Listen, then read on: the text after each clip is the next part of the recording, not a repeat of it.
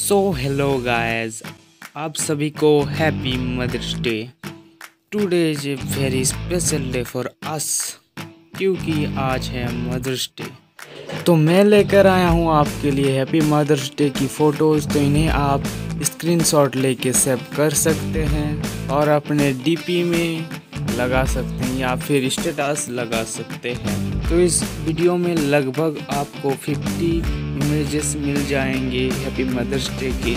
और हाँ पॉसिबल हो पाया तो मैं नीचे डिस्क्रिप्शन पर लिंक भी प्रोवाइड करूँगा, वहाँ से आप डाउनलोड कर सकते हैं।